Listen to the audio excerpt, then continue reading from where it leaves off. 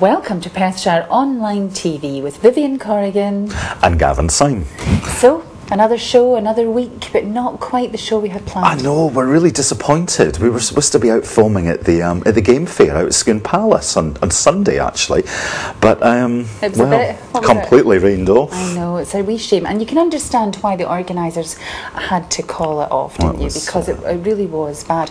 But on a, on a good note, because there's so many people in the town in Perth on Saturday, wasn't it buzzing? It was, it was busy. It, it was, was busy. Really it was busy up and down the high street, I tell yeah. you. I was, I was um, quite quite surprised. So it was nice to see that. I it thought. was, yeah. and then. Um, I was out at the Loft nightclub on Saturday night at the De Dream makeover competition, a fine grand final. So um, you'll you'll see some of that in this in uh, this week's show. And um, well, congratulations to Donna Doran, who was the winner, two, over two thousand pounds worth of makeover treatments. Fantastic. Absolutely fantastic. Lovely. It was a, it was a really good night was actually. It? Yeah, it was a really good community night actually. I think everybody went everybody went away feeling. Um, I don't know, just a wee bit of sort of heartwarming, heartwarming community stuff. Lovely. Well, that'll be really nice. It'll be great to see the results as well. So when will we see them?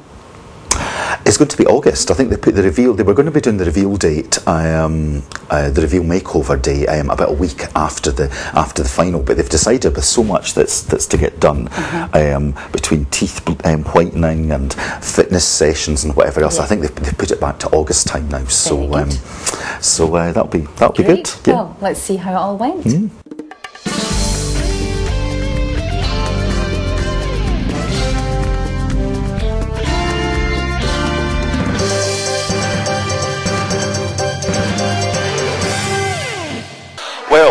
Perthshire Online TV likes to get out and about, so we're out on Saturday night. We're at the Loft nightclub. It's um, almost 7 pm, and we're here actually to do some filming for the D'Reem competition because it's the grand final of the D'Reem Makeover competition. It's been whittled down from about over 80 applicants, I think, down to something like eight, and um, all the ladies are here this evening. And somebody's going to walk away, one lucky lady's going to walk away with over £2,000 worth of a makeover prize. But it's not just all about the competition, it's actually quite a social evening as well. It, it, it's great. We've got um, some a couple of dance acts from Jackie Nicoll's, JKN Dance Attic, and we've also got um, Emma Prior of Red Earth's daughter, Rachel Prior, who's going to be um, singing for us as well. So it's going to be a really great, lively night. And we've also got five local A-list judges as well. We've got Steph, Steph Somerville from Copperfields, the hairdressers. We've got Paul Garvey from Burnet Fitness Perth. We've got Kirsty McPherson, the makeup um, artist. We've also got Anne McLean from Sandalwood Shoes and Jackie Nicoll um, from the, the Dance Attic as well. So they're our, they're A-list uh, celebrity judges and we'll probably catch up with one or two of them later on as well. So here we are at the D'Reem um, competition final at the Loft nightclub in Perth and I've got, before it starts, I've got one of the judges, um, one of the judging panel here, Anne McLean from Sandalwood Shoes. Hi Anne, how Good are you evening. tonight? I'm very well, thank you, Gavin. And you, have been chosen as one of the judges, there's five of you. How, how excited are you about the whole I'm thing? I'm very excited and very honoured to be invited. Fantastic. But you're quite used to being in front of the camera as well, aren't you? Because well, a little, a little birdie told me that you were a weakest link winner a couple I of years indeed. ago. Very terrifying experience, but great to have won it. And are you going to, going to be doing any other competitions sometime I would soon? love then? to get a team up to do eggheads. Fantastic. That was be what I'd like to do well, next. We'll follow, we'll follow the progress on that one. Jolly good. and I'm joined by the lovely ladies of Mac and Posh. How are you tonight, girls? Very well, thank you, Gavin. How are you? I'm, I'm doing not too bad at all. I've got myself spruced up for the I evening as well. say, we're very impressed. I kind of thought Daniel Craig was here when I walked in. Better looking. I You had to take a second time. They say all the nicest things to me. So it's the it's the competition finale tonight. Um, it's been taken down from what over 80 people down to eight finalists, and some lucky lady's going to be walking away with a 2,000 pound prize at the end of the night. I have to tell you, Gavin, it was a very difficult choice. There was some amazing entries, so I have to say there was a few tear jerkers in there, wasn't there, Sarah? Looking forward to meeting all the nominees tonight as well. Fantastic. Well, it's lights, cameras, action.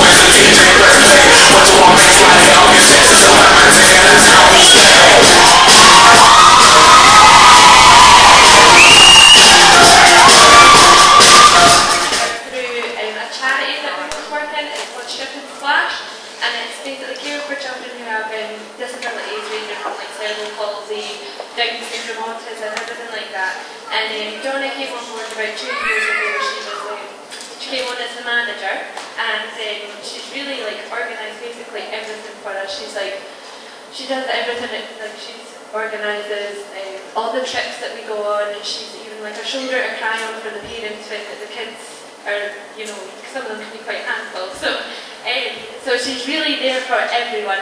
Um, is also um, contracted to part-time hours, but she does full-time hours. She does like 50 hours a week for Splash, and it's mental how much she works.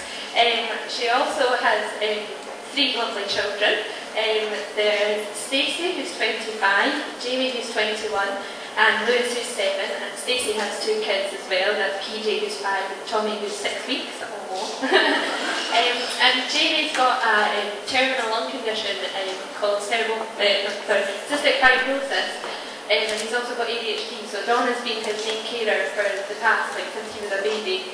Um, and they were told last Christmas that he would make it past Christmas 2011. Um, so he's really seriously ill, and they obviously they cherish every moment they can have with them. Um, Donna um, also has raised so much money for Cystic Fibrosis UK. Um, she's raised money for children in need. She's raised thousands of pounds for that and Splash on top of that. You may have heard about her backpacks and everything they asked us. And she also has two other jobs on top of Splash. Um, she works as a she's worked as a carer in different settings since she left school basically. She, um, she's worked in it's a care home um, with the elderly. Um, she cared for adults with learning disabilities and she also was a nurse to be nurse and went on to be a manager. Um, just now Donna works, um, she cares for two boys who have a very serious disability called Hunter syndrome and she looks after them five days a week. Um,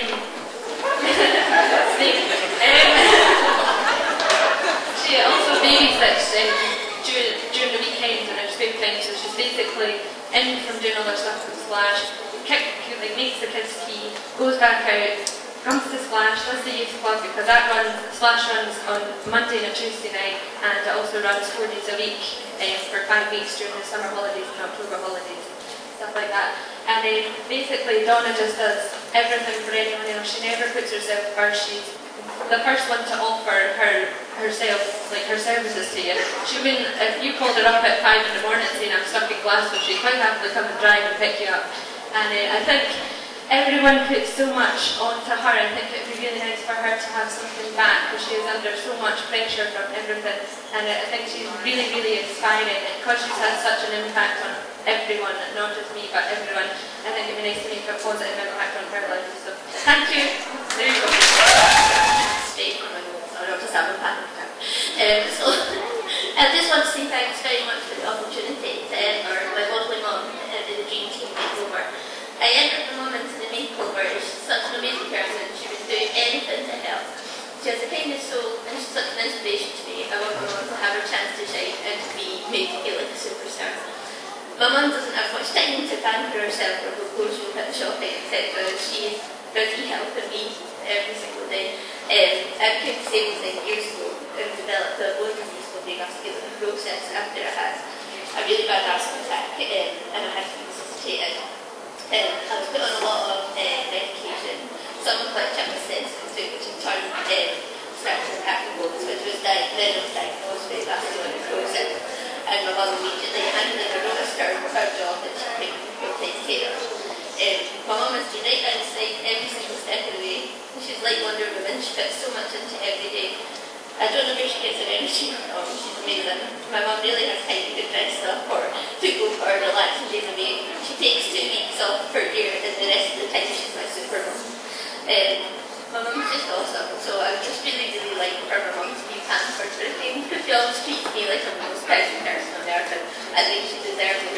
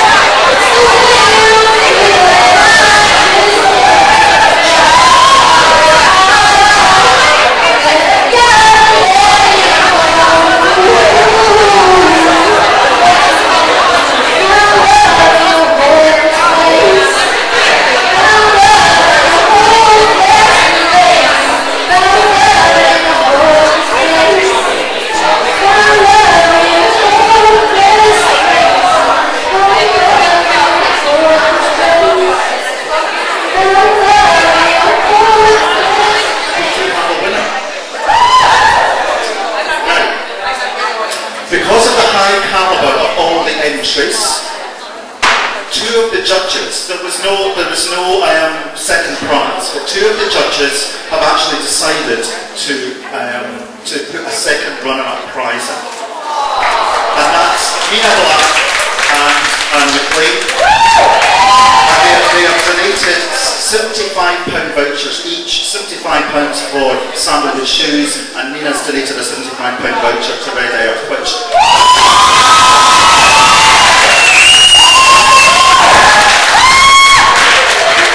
So I think at this point, we need to get the competition manager, Emma Prior, on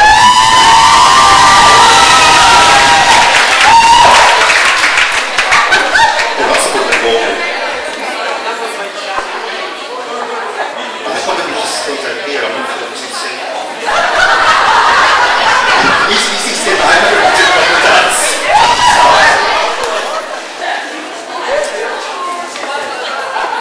Before we give out the prize, there's one person who hasn't been thanked tonight, and he's done an amazing job comparing for us this evening. Can everybody please give?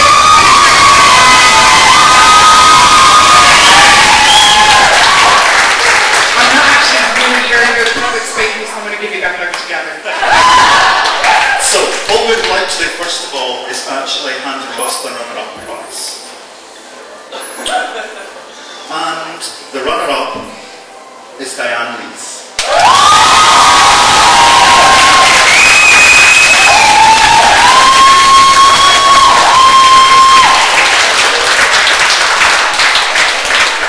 Dianne, congratulations. Sorry, because it's a last minute we, we don't have someone to hand across to here, but we'll get that sorted out. So, how do you feel about it? Isn't it super?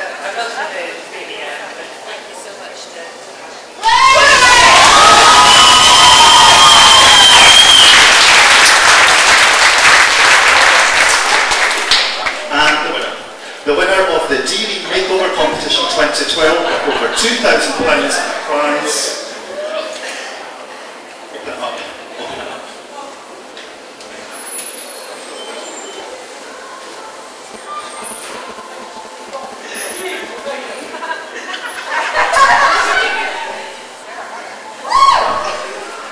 We know who it is. It's Donna Doran.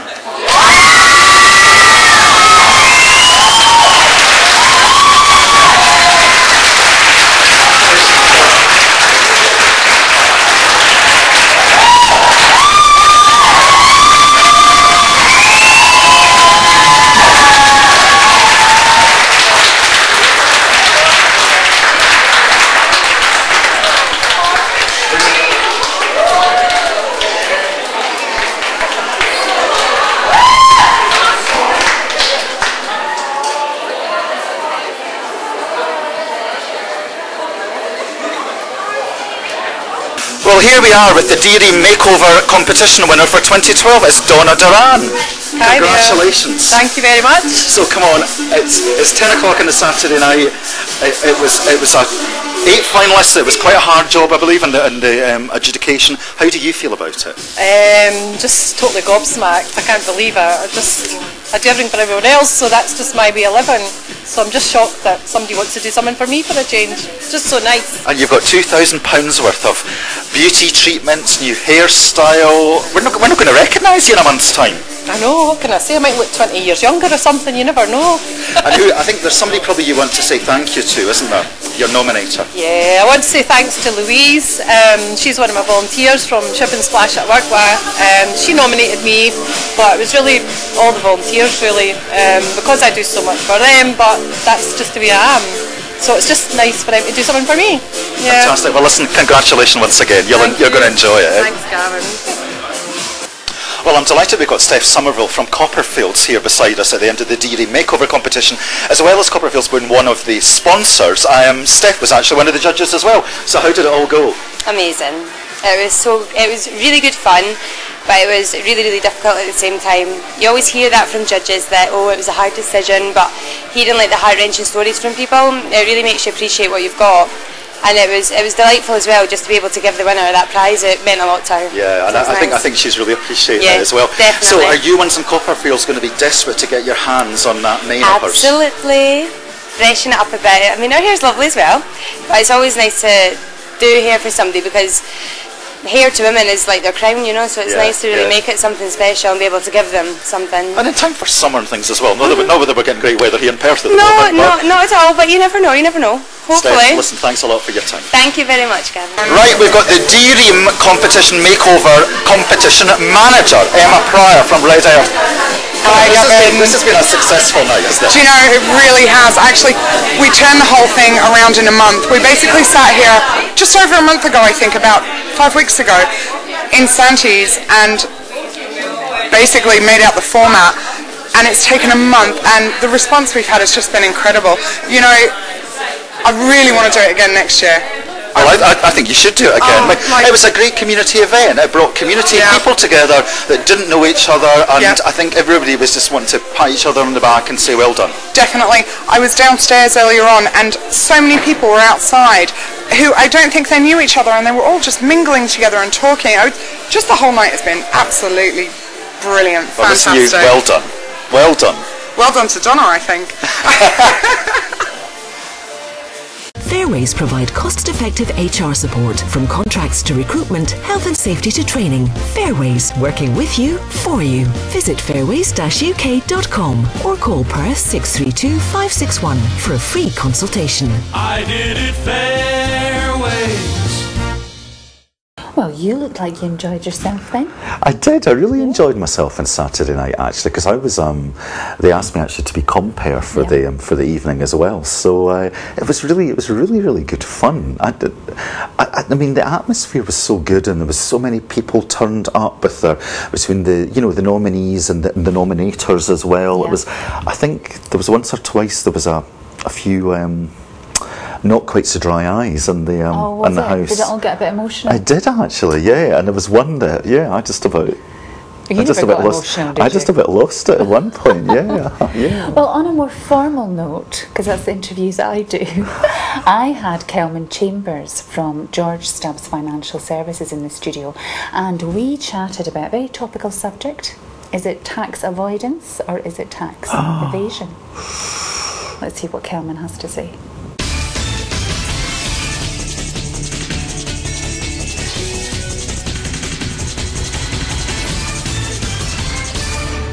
Well, I'm delighted to welcome Kelman Chambers, Financial Services Director with George Stubbs, who has come in to discuss with us, well, a very topical subject of the difference between tax avoidance and tax evasion. We're not naming names, well, maybe we should. so help us out with this one. What is the difference, Kelman? Broadly speaking, tax avoidance is legal. Now, as Jimmy Carr has recently found out, it may not be the most moral thing to be doing, and you may get a lot of bad press, but ultimately it is legal. Tax evasion is strictly illegal. Um, and the, probably the best known celebrity for that was Lester Piggott, who Yeah. spent a small amount of time at Her, Her Majesty's pleasure because of it. Um, tax avoidance is generally arranging your uh, finances in the way to avoid paying unnecessary tax. Now, you get people like Jimmy Carr doing extremely clever, expensive offshore things to save his millions of pounds of tax, but it doesn't need to be like that.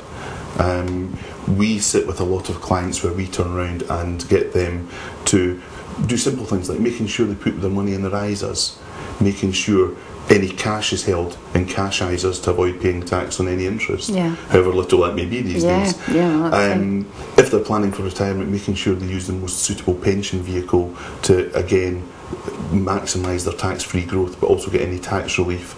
Um, if people have got an appetite for investment risk, there's various things like venture capital trusts and enterprise investment schemes which have allowed tax reliefs in various ways.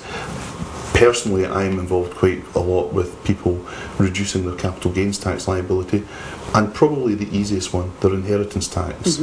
Um, inheritance tax was described by Roy Jenkins as a voluntary tax because it is so easy to arrange your set up your arrangements in such a way that you pay very very little. And if you don't, I mean, you, it can cost so much money and have such a huge effect on, on the estate that's left. Well, I mean, inheritance tax is 40% of the capital amount once you get over what's known as the no rate band, currently 325,000.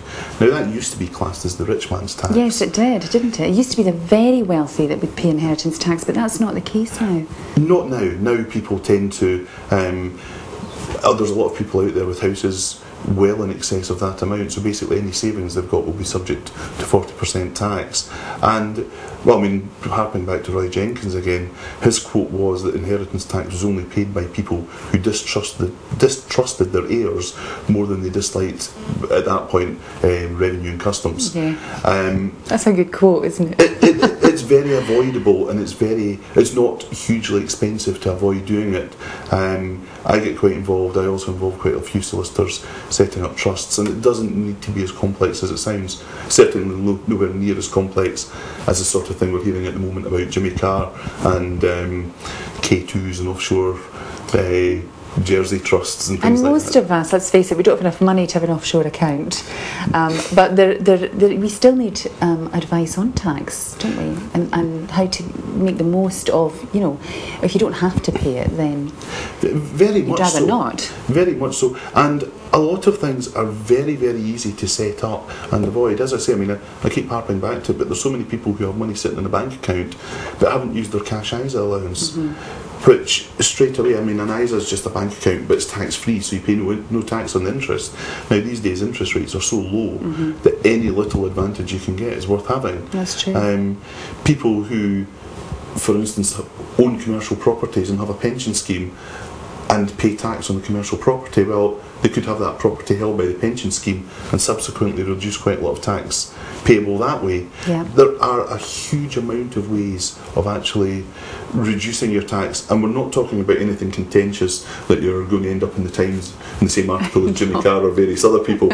You know. Um, we're talking about fairly straightforward stuff that can be done really quite easily. Excellent, fantastic. Well, obviously, we need to come to somebody like you for the best advice because it is it is difficult, you know, for, for most of us. You know, it's quite difficult to understand it all. But that was very good, very topical as well. Thanks for sorting that out. And as always, we um, recommend that you consult a reputable financial advisor.